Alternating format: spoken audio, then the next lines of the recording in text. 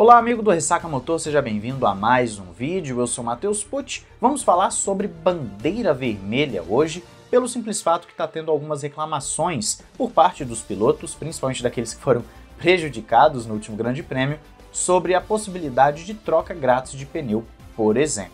E esse é um assunto que, na verdade, a discussão já vem de muito tempo, porque a regra em si é controversa e sempre vai gerar prejudicados e beneficiados. E é aí que eu quero começar o vídeo de hoje falando o seguinte: toda regra que tem paralisação da corrida de alguma forma vai ter prejudicado e beneficiado, seja a bandeira vermelha, seja a bandeira amarela, seja o safety car, seja o safety car virtual, você sempre vai ter alguém sendo beneficiado e alguém sendo prejudicado. Pensa comigo o seguinte: a corrida começou há pouco tempo, o primeiro colocado conseguiu distanciar do segundo. Ele abriu 5 segundos, por exemplo, como o Verstappen fazia ano passado. Em poucas voltas ele abria 5 segundos. Aí dá um safety car. Quem foi prejudicado e quem foi beneficiado?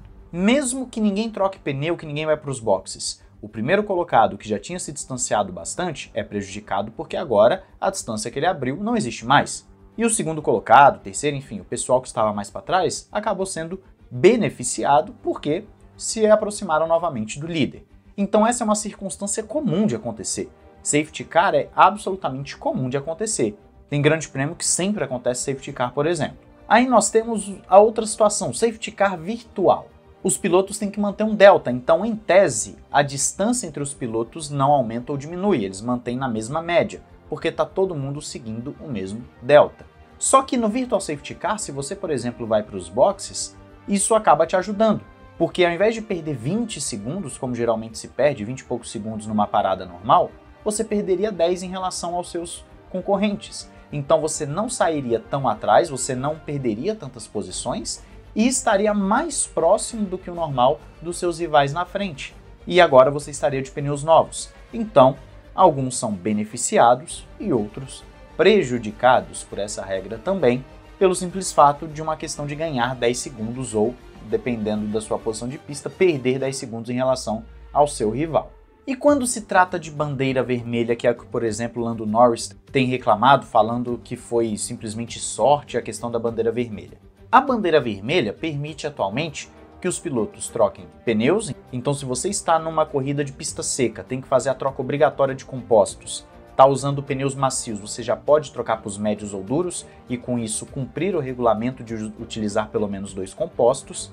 Você pode trocar a asa dianteira se for necessário, você pode ajustar a configuração da asa dianteira se for necessário e você pode fazer algum remendo no carro. Por exemplo, tem um leve dano no assoalho, você pode botar uma fita ali, como já aconteceu na Fórmula 1, bota uma fitinha ali e pronto, faz esse remendo para ter uma perda aerodinâmica menor do que se continuasse com aquele dano.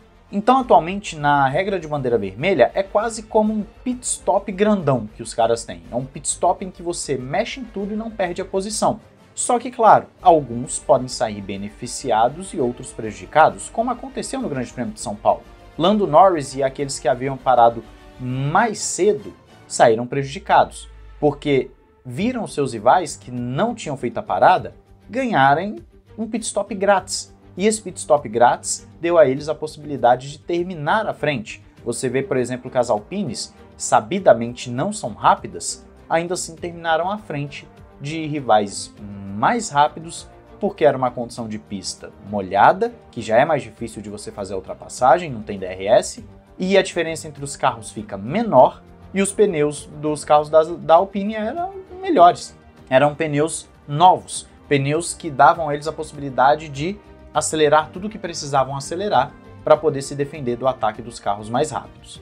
Então, tudo que eu falei para vocês agora de safety car, virtual safety car e bandeira vermelha, nós vemos que sempre vai ter alguém beneficiado e alguém prejudicado. Isso é normal.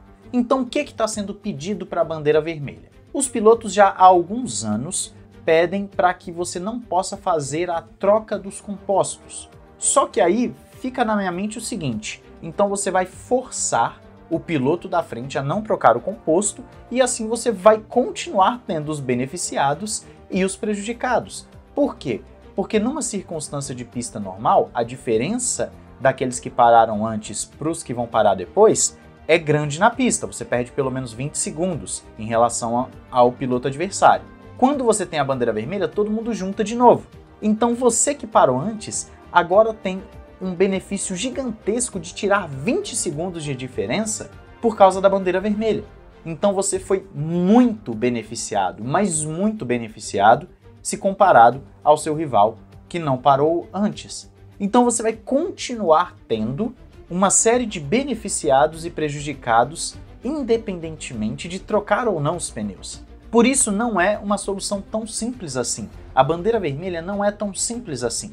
E outro ponto que precisa ser abordado é que tanto o safety car, o virtual safety car e a bandeira vermelha, elas são acionadas em 95% dos casos por causa de batidas.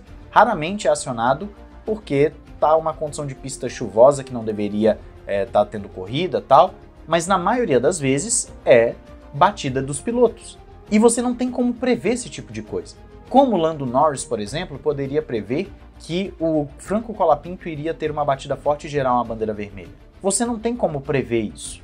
Então, por ser algo que provém dos próprios pilotos, eu não vejo como a regra sendo necessariamente injusta. Existe sempre o fator risco que vai estar em jogo. Você pode, por exemplo, ser pego desprevenido por um acidente que você não tem nada a ver e com isso ser forçado a sair da corrida. Isso já aconteceu várias vezes. O cara perde o carro, bate em um, que bate em outro, que não tinha nada a ver com a situação. Vai falar isso é injusto, mas faz parte da corrida, você está suscetível a isso. E outro ponto que precisa ser dito é que o prejudicado de hoje pode ser o beneficiado de amanhã. Eu não posso simplesmente reclamar da regra se ela está me prejudicando hoje. Eu vejo que isso acontece muito com os pilotos nas disputas por posição. Quando eles estão sendo ultrapassados, aí a regra, né, não pode. Olha que absurdo, o cara tá eh, me jogando para fora e tal. Quando eles estão ultrapassando, ele fala que foi tudo normal. E é assim com os torcedores também. Aqui no canal você vê isso claramente. Eu posto um vídeo falando, foi nada. Falando que a ultrapassagem do Norris não deveria ter sido punida lá nos Estados Unidos. Aí no final de semana seguinte eu já inverto, eu falo, não, Verstappen não deveria ter sido punido no México. E aí o que, que eu vejo? A pessoa que no final de semana anterior estava defendendo a punição, ela muda por quê? Porque o piloto dela saiu de prejudicado para beneficiado. E eu falo aqui no canal, gente, não tem por que vocês ficarem punido, punindo disputa por posição. Vocês gostam muito de punição. Mas isso só mostra esse tipo de comentário, porque eu consigo ver o histórico de comentários de vocês, que tudo depende de quem está sendo beneficiado e quem está sendo prejudicado. Então, ao meu entender, a regra de safety car, bandeira vermelha, ela não precisa ser alterada. Faz parte da corrida, faz parte da dinâmica da corrida. Sempre vai ter um prejudicado, sempre vai ter um beneficiado. E eu quero saber a sua opinião aí nos comentários sobre esse assunto, se você concorda comigo, discorda, enfim. Fala aí nos comentários. Não esqueça de se inscrever ativar o sininho para não perder nada, entrar nos nossos parceiros que estão aí na descrição, tem cupom Ressaca F1 e Ressaca Motor na Paddock BR, e também seguir no Insta e o nosso canal de cortes. Um grande abraço, valeu e falou!